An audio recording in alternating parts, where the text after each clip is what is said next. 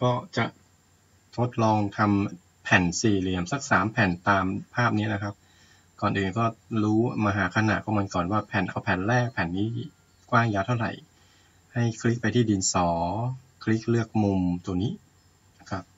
แล้วก็เลือก layer layer สีเขียวคือ 1.6 เราคลิกไปที่มุมนี้มาหามุมนี้ แล้วก็กดปุ่ม dx dy เราก็จะได้ขนาด dx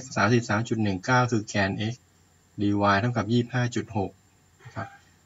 33.19 กับ 25.6 ก็ไปกดปุ่ม S cap ยกเลิก ไปที่แผ่นสี่เหลี่ยมโพลีกอนครับ